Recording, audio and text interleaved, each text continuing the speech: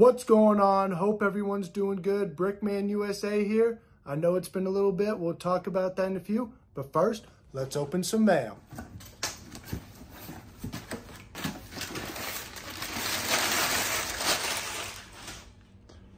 The first set we got in this box is the promo, the Trade Federation Troop Carrier. As you guys can see, it has the 25th anniversary logo there, and it also has the 25th anniversary logo for episode one, The Phantom Menace. That is wicked, and I can't wait to see it later today with my girlfriend. As you can see, she's chuckling in the background at me because I'm a goofball, but here's the back of the box. Can't wait to get this built up.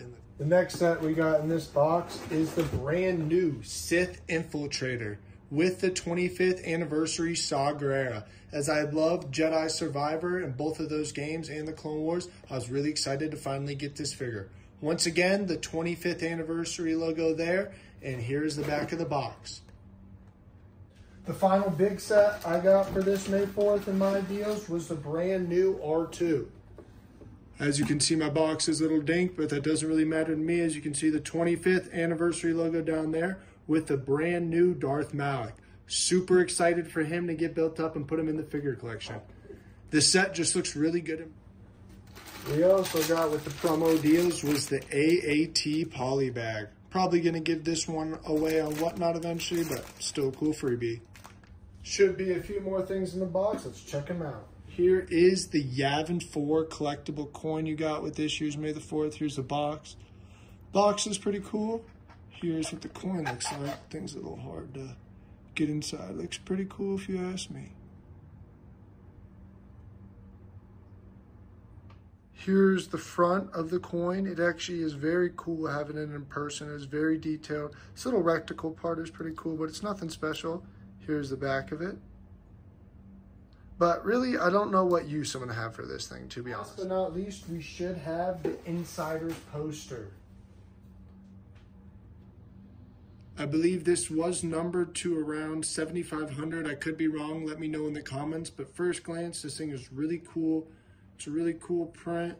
I'm excited to get it framed and throw it up on the wall. I decided to get this over the coin just because I really like posters and it's going to look awesome in the Lego setup. Overall, I'm very happy with my May 4th purchases and I'm really excited to build them and make some videos on them. May the force be with you. Have a great May 4th.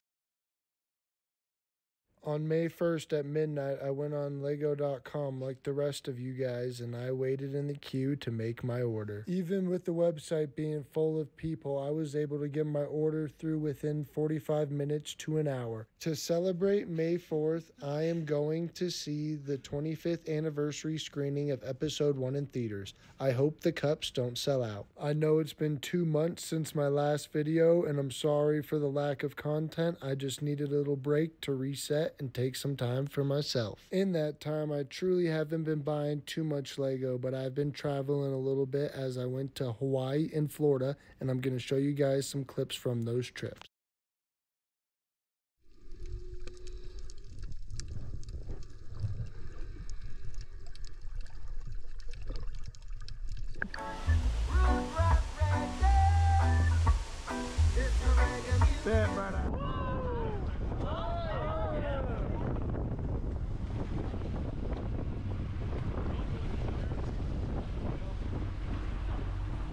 In Florida, we checked out some of the old Spanish forts.